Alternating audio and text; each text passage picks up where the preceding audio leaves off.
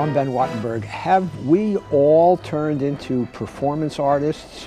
The Unabomber, O.J. Simpson, Lady Di, Bill Clinton, and Monica Lewinsky. What do these sagas tell us about our culture, our public life, and most importantly, about ourselves?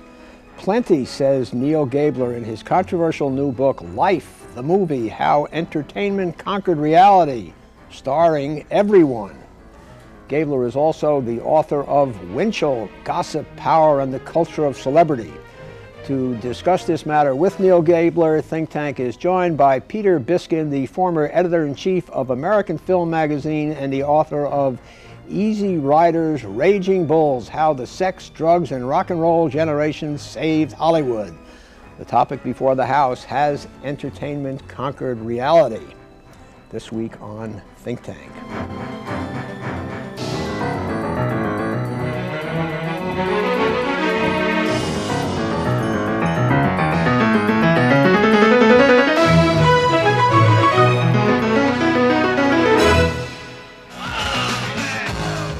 Americans like to be entertained. Every year they spend billions on movies, magazines, and video games. Entertainment, it seems, is big, very big business.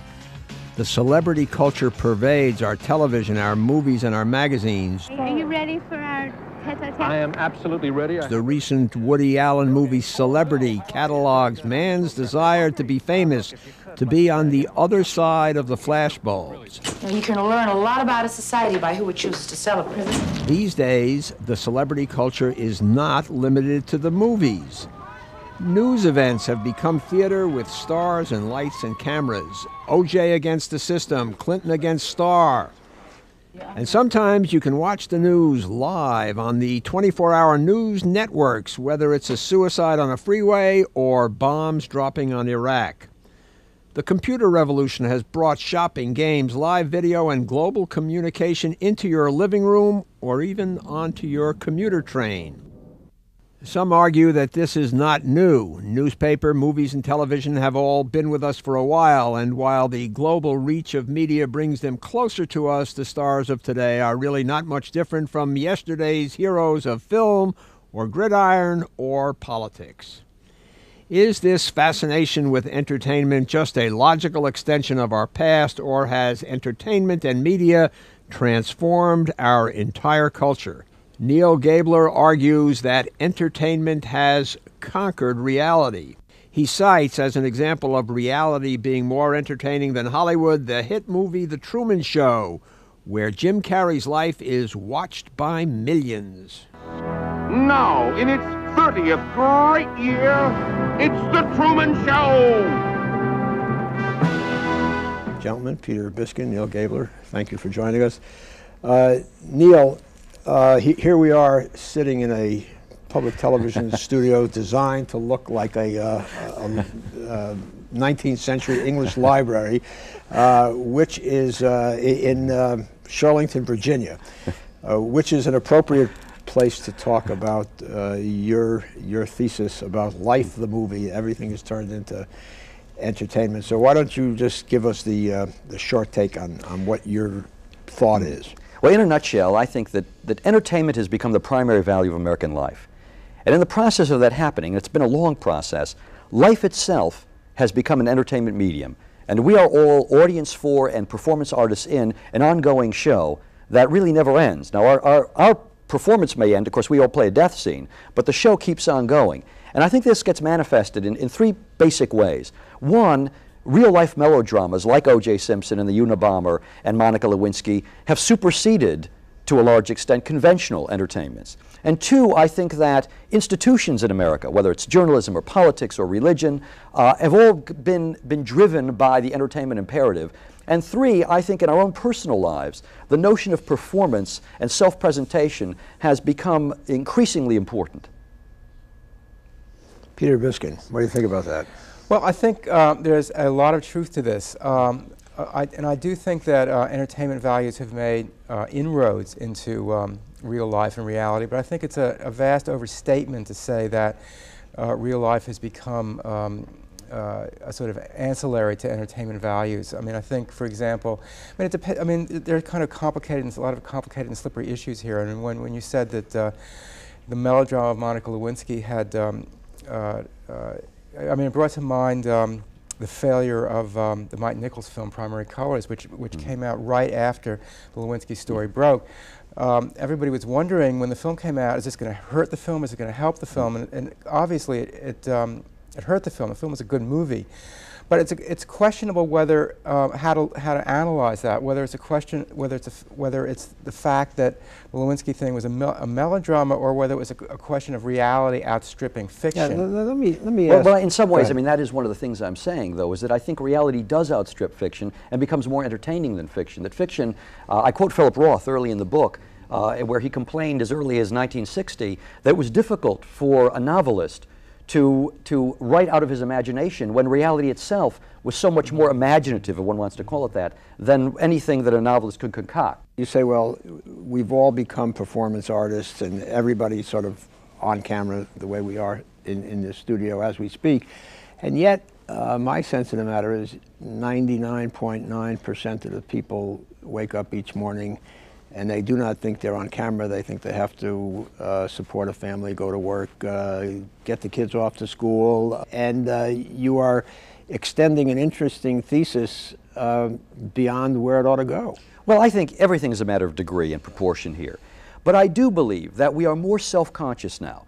Individual citizens, everyday people, are more self conscious about their own lives, about their self presentation than any previous generation has been. And I'll give you an example. I'll give you two quick examples. Uh, I've been on the road a lot, you know, talking about my book, and I've been, done a lot of radio call in shows. You got the rap down pretty well. Well, I don't know about that. It, just, you know, you've been through it also, and you're, go ahead. And, and I did one call in show just recently, and a fellow called in and he said, um, You know, I'm a, I'm a janitor at this mall and it was in, in Minnesota. And he said, and I was listening to the broadcast, and he said, and I was thinking, you know, in some ways, you know, I'm the set designer here at this mall. Uh, and, you know, it, indeed, he was, he, he was thinking in, in these terms. And I talked to another woman on another call-in show, this one in San Francisco. She was a housewife. And she said, I'm here folding my laundry, and I've got two young kids at, at my feet. And this is really drudge work. But I'll tell you how I, I get through this. I imagine that I'm in that scene that you often see in movies where the mother is folding laundry and there are two kids at her feet, and it's a very domestic scene and it's very warm uh, and, and it's very life affirming. She said, and I'm the audience, my, my own audience for the scene, and I feel very, you know, it's very life affirming for me as I do this, because otherwise it would be really difficult to have to do this day after day after day after day. Well, I'm sure we, we would all prefer to be in movies than in real, I mean, live in movies in real life, because if only because movies have happy endings, which real life unfortunately now doesn't. now they do. But, you know, um, I just, I just um, came out with a book, um, uh, uh, not to steal any of your thunder, uh, about Hollywood in the 70s. And one of the interesting things about it was that these guys who were called movie brats because they, they were young kids who went to, learned about life essentially at film school. And um, uh, all of them imagined that they were living, that their own lives were movies. They, um, and, and that, you know, they would, if, if um, uh, they got tired of a wife, they would just exchange it and turn it in for a new one. They imagined they could sort of edit their lives as they went mm -hmm. along. And if they made a bad cut, they would just throw the film out and make mm -hmm. another one. And all of them, almost every it's single one. the advantage one, of the new tape technology. The Avid exactly, machine, the Media 100, you can just, yeah, exactly. right. But the point I want to make is that almost every single one learned to his sorrow, and uh, actually it was all men, that life is, that life is not a movie. Peter Bogdanovich was um, uh, the one who, who finally came out and said this when his girlfriend Dorothy Stratten was killed.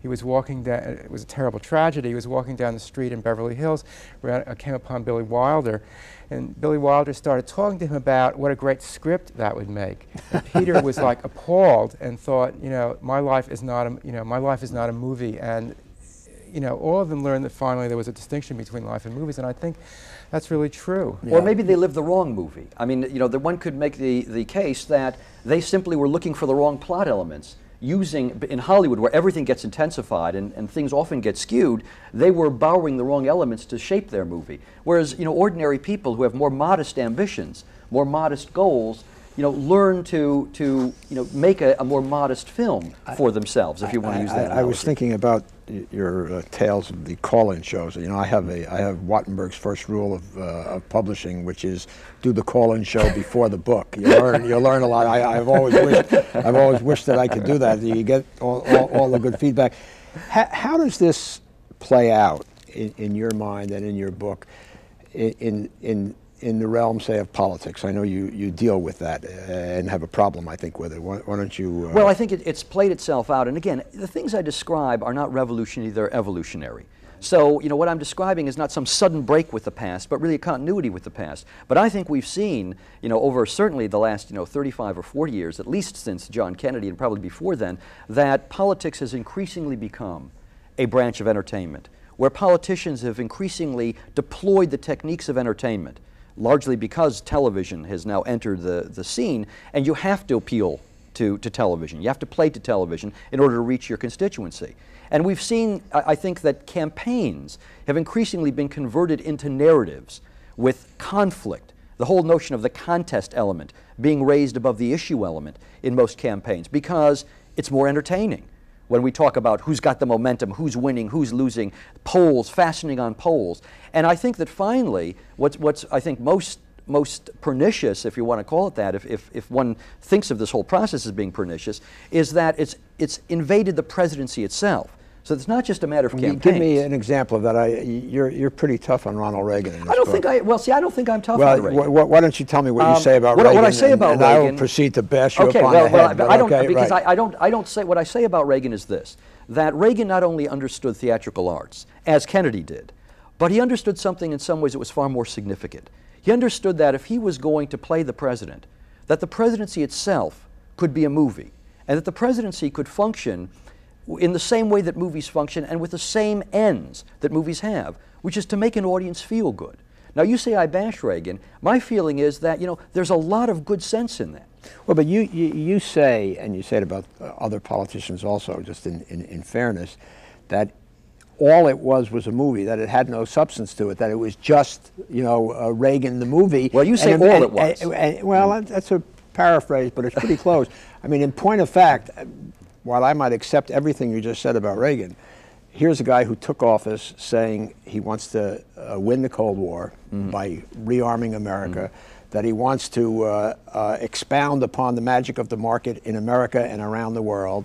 Uh, and two or three, he wanted to deregulate American industry, two, three, four things, and did all the showbiz that goes with it. I grant you that. But you know, funny thing happened. Eight years later, he had done it.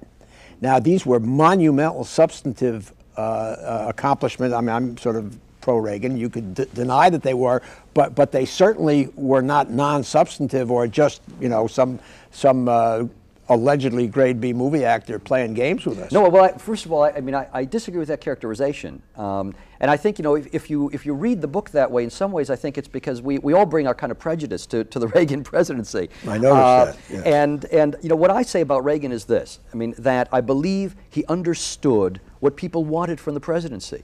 That was a very valuable understanding. There, I don't say that he was completely non substantive. What I do say is that many of the policies that were substantive were cast in movie rhetoric, like the evil empire or the Star Wars anti missile system. I, I wanted to ask you. Hold, hold on. I'm- That- that I'm- I'm gonna-. I want to ask you. Um, what is your problem with Evil Empire? What is it not? Was it not evil or not an empire? I have no problem with it. You have no, problem, but you No. sort of, you sort of dump I'm- on I'm it in the book. You no. put it in quotes. and You say, "Oh, look at this No, dummy." no, I don't. I, No? Again, I think that you know, I, I think you're bringing something to it that's not there. In fact, I have enormous respect for for this idea, and it's a very powerful idea. You know, it's, you can't just ignore the fact that people want to feel good about this country. They want to feel good about themselves, and that Reagan understood that. And that Reagan, in making the presidency into a movie, you know, one could say, well, in doing that, I mean, that's ridiculous. I mean, that kind of trivializes everything. But one could also look at it the other way and say, rather than trivialize everything, it gets right to the heart of what people may want from their presidency, which is to feel good about this country and feel good about Well, themselves. you know, I, I, I actually dislike the Reagan presidency, but I have to agree with um, Ben in the sense, you know, there was one statement that you made in the book which I thought was very revealing, which is uh, essentially you said that in the Reagan presidency, um, entertainment uh, trumped ideology. In other words, it wasn't a question of the right Mm-hmm. um, uh, defeating the left after years of um, you know FDR Right. liberalism and New Deal liberalism. It was the fact that entertainment trumped both left and right, Mm-hmm. and that I, I agree. I mean, Reagan may. I mean, it, it's it seems almost the opposite is the case. Reagan, Reagan injected more ideology, made more substantive changes for good or for ill um, than um, had been seen in the presidency in a long time. So I think you could sort of turn your thesis upside down. I mean, he did use entertainment values in presenting and selling this his ideological um, agenda to the American people, but that's very different from saying that there was no substance to it. Well, again, I, the word substance is not one. I never use the word that's non-substantive, and and I'm, I, I, in some ways I feel like I'm I, I'm arguing you know a non-argument here because I, I agree with what you're saying. I mean, I, I think that entertainment can trump ideology, and and how does it trump ideology? Because it supersedes it. He framed issues, even ideological issues, almost in an entertainment way. Right against left became, as I, and this I do say in the book, is kind of like cowboys against Indians. I mean, there's a very interesting way of framing issues. It was a way of framing issues ideologically that was almost non-ideological. What about Clinton? Fast. Is, Clinton's is- a different kind of entertainer. I mean, there's no question in my estimation that Clinton is an entertainer. But, but I, I refer to him in the book as kind of postmodernist because he operates out of what uh, the, the cultural historian Neil Harris called a, an operational aesthetic. And, and Harris at the time was referring to P.T. Barnum. Operational aesthetic was that you showed the audience, you know, that you were pulling the strings and manipulating them. I think in some ways, I mean, this is what Clinton does with, with his audience. I mean, Clinton is, is, is manipulating us, manipulating, you know, the, the process, and we all kind of sit back and, you know, not everyone says, geez, they admire that, but we all kind of sit back and in some ways are entertained by it, are entertained by the fact that, you know, we're watching Clinton manipulate the system, and he does it so boldly that you kind of shake your head and you say, well, you know, you throw up your hands and the it. story becomes the manipulation. The story, ab- in the same way about that the it does. Madonna, for example. I mean, Madonna and Bill Clinton are very similar figures. What Madonna does in entertainment, in conventional entertainment, which is to show her transformations and her manipulations and make that the entertainment, rather than her singing or dancing or whatever, or her, or her acting. You know, Clinton does the same thing, I think, in politics. Well, I want to go back to this example of Monica Gate. I mean, there was a, I think it's an interesting um, um, test case for your thesis because when, um, you know, after the revelations, uh, all the um, political commentators were flummoxed by the fact that uh, Clinton's ratings went up. and I remember reading the New Yorker an article by Kurt Andersen who said, you know, well, the reason is because it's a so, you know, the Clinton, the ongoing um, Clinton um, uh, revelations are a soap, and the plot has gotten more interesting. Therefore, the ratings opera. go up. Yeah, the right. soap opera, yeah. It's- therefore, the ratings go up. Um, and, and that seemed to me, uh, again, to turn it upside down, it seemed to me that, the, the, the, in fact, the ratings went up. I mean, Clinton's popularity ratings went up because people in could, in fact, distinguish between uh, Monica Gate and reality, and they, and they uh, were tired of the, of the soap, if you will, if you want to call it that. And in fact, they were very able to distinguish between the two, whereas it, were, and, and not, at, you know, and not at all uh, unable to, which is the thesis, I think, that, you know, of this, um, you know, entertainment cannibalizing reality. Well, I, I, I think they did make, I think the public made a distinction, but I'm not sure it's a distinction between reality. After all, I mean, Monica Gate is, is and was playing out in reality. I mean, it was Right. what I, in the book, I call a lifie, which is, you know, a movie written in the medium of life. But I think the distinction the public made, the distinction I made is that this is entertainment, and they can enjoy it as entertainment. Kurt Andersen's word, you know, he called the presidency the entertainer in chief um, in, in the New Yorker. But the, in terms of consequences, real consequences, the public didn't want to see this entertainment have consequences. In the same way that when you watch a movie, I mean, you, the movie may linger with you after you leave the theater, but you know, you don't want the movie to, to, to leave the theater with you and have consequences on real life outside the theater. Now, the difference here, of course, is that this movie is, is actually played out in real life. You also say that religion has become an entertainment. Again, I, I don't want to oversell this idea. What, what I'm saying is that I think religion, you know, has has assumed elements of entertainment. Um, look at the megachurch movement, for example, in this country. Uh, I mean, the megachurch movement, which are these giant churches, uh, now you know pride themselves on the kind of music they have, frequently rock music. There are actually you know kind of churches compete with one another over the quality of the bands that they have performing at the services. They have light shows, which are very much like uh, rock concerts at, uh, at Madison Square Garden or whatever, you know, any of the big rock venues across the country. They even have cappuccino carts now, I understand, at some of these uh, you know, churches. But, but it's not only at that level. Uh, I was speaking not long ago at, at a Jewish service, and one of the heads of the Can, of can the you take communion with uh, with cappuccino? I, I, I don't know. That's, that's an interesting right, question, right, right. and one that only this generation will have had to Right, have confronted. Yeah, you, yeah, I'm sorry. You were saying about a. But uh, I was, I was speaking at a, at a Jewish uh, service, and one of the leaders of the synagogue came up to me afterwards and was talking about the, the wonderful rabbi that they had who was coming to officiate at the high holiday services. And, and he, and, and quite consciously, I mean, he knew exactly what he was saying. I mean, the, the reason that this rabbi was so terrific is that he packed them in. He was a great showman. He had great sermons and he was very stirring, and people loved the show. And, and those were exactly the words he used. People loved the show. Now, this is not new. L- let me ask you this. You say the United States has become the republic of entertainment. Yes. It's an interesting, uh, interesting phrase. Uh, what's wrong with that? I mean, isn't there, there, there there's enough sadness in life. The whole, the whole thing's, uh, you said it ends with a death scene. It's not, it's not a piece of cake. Uh, what on earth is, is wrong with seeking out entertainment, and shouldn't we salute the fact that we have more and better kinds of entertainment? On the face of it, absolutely nothing is wrong with that. And one of the things I'm at pains to say in the book, and I've taken some heat for this, you know, is the fact that the book is diagnostic rather than prescriptive. I'm a fan of entertainment. Uh, I, myself was a film reviewer for, for a number of years, and, and I wasn't one of these film reviewers who only liked European movies. I love entertainment. I love movies. I love rock music. Uh, I even like trashy novels. So is there anything wrong with it? No. On the face of it, absolutely not. Does it have some some deleterious effects on American society? It can. Not necessarily, but it can, and I think it has. Now, one then has to balance the positive effects you know, versus the, the negative effects. And I don't think one says, well, then we ought to get rid of entertainment or, or marginalize it in some way. I think one ought to be aware of these things so that one can make decisions about the kind of society in which one wants to live. You think this is good or bad insofar as it exists, Peter?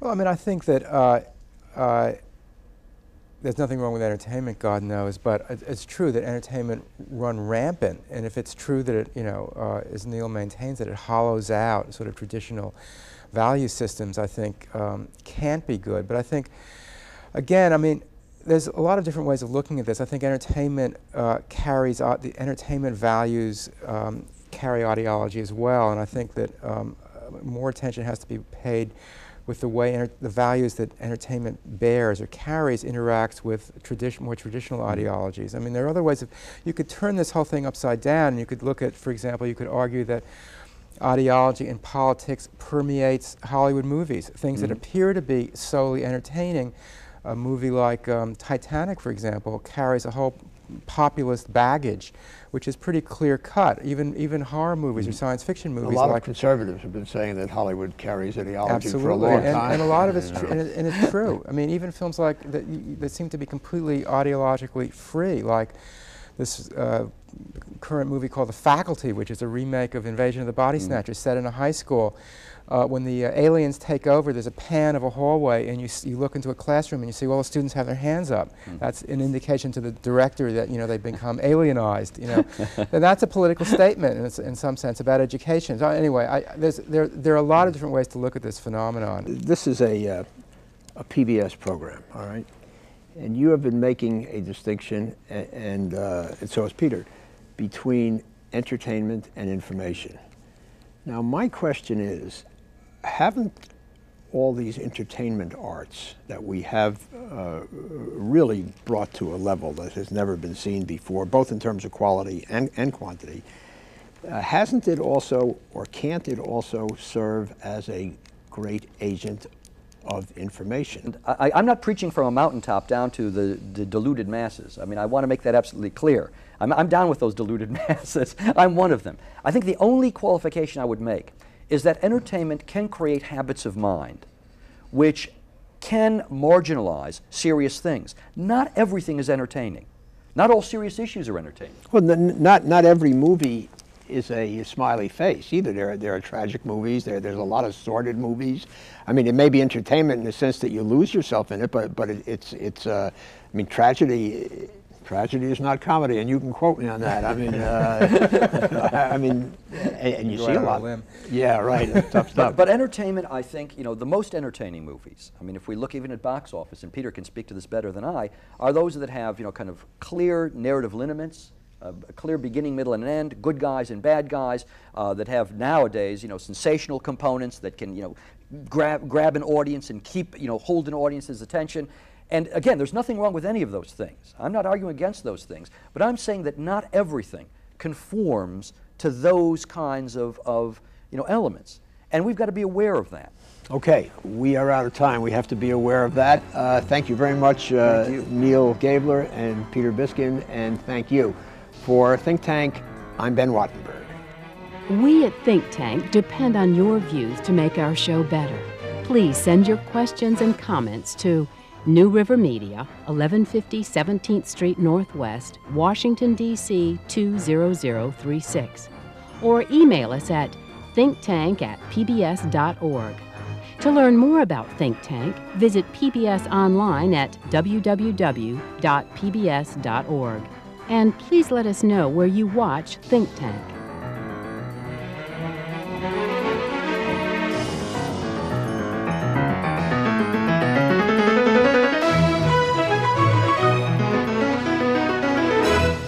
This has been a production of BJW Incorporated in association with New River Media, which are solely responsible for its content.